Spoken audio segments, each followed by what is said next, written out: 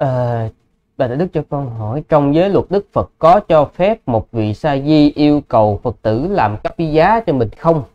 Nếu không được thì sa di phải làm sao để giữ trọn 10 điều học mà không bị ô nhiễm? Ờ, thưa quý vị đó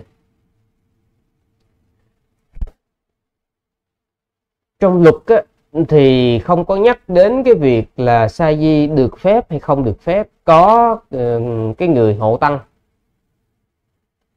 Nhưng mà như thế này trong cái phép sinh hoạt ở trong tăng đoàn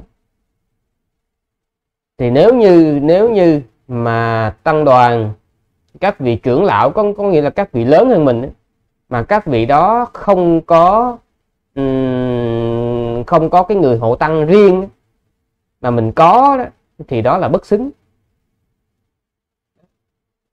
Nó là bất xứng nó là không có được phép nha.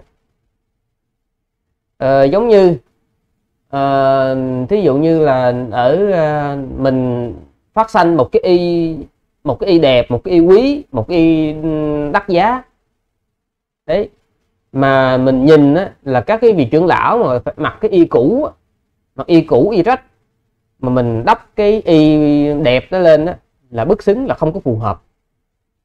Hoặc là mình có cái bát bát mới bát đẹp ờ, mà trong khi đó các vị trưởng lão là đang xài cái bát cũ cái bát nó mớp méo nó bị lủng chỗ này lủng chỗ kia mà mình lấy cái bát mới mình xài đó, là không phù hợp.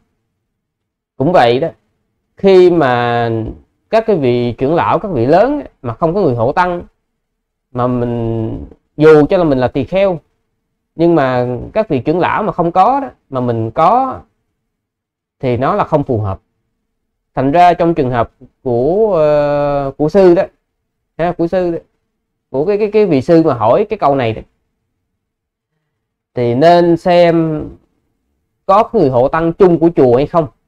Ví dụ như chùa có những cái vị mà hộ tăng đó, thì có thể nhờ các vị đó có nghĩa là các vị đó sẽ làm cấp bí giá luôn chứ mình không nên có người hộ tăng riêng.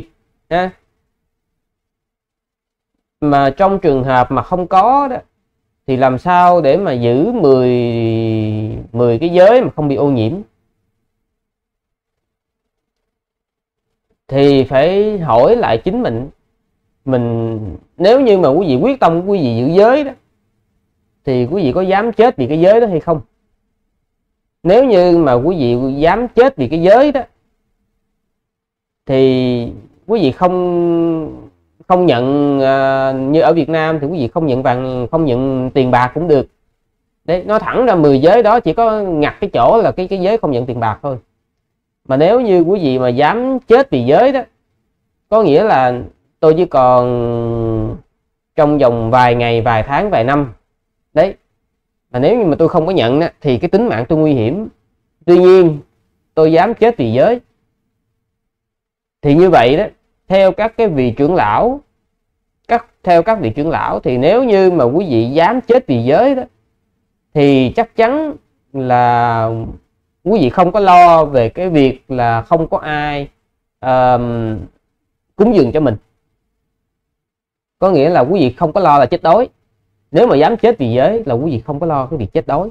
Dù cho cái việc mà mình giữ giới đó mình không có rêu rao mình không có thông báo, mình không cho ai biết đi chăng nữa, thì cái vị mà dám chết vì giới thì cũng không có bị chết đói. Đó là các lời của các vị trưởng lão.